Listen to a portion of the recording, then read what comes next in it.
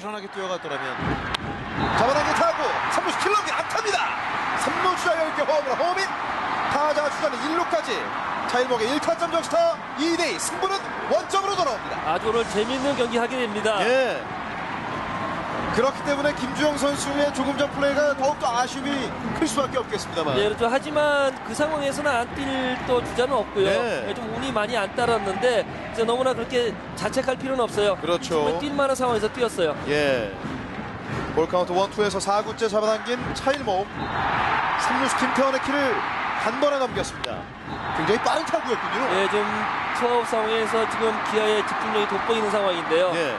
뭐 일단은 기아 타자들이 잘 쳐내고 있고요. 거기에 김성현 선수의 공이 조금씩 가운데로 몰리기 시작했어요. 예. 체력적인 부담이 조금 생긴 것 같습니다. 김주영 선수가 좋아하긴 좋아하는데 아쉽죠. 그럼요 예, 자신이 예. 2루에 있었으면은 역전을 시킬 수 있는 그런 상황인데 네. 예, 그 부분에서 조금 아쉬워하고 있습니다. 그렇습니다 투아웃 주자는 1루 8번 타자 박기남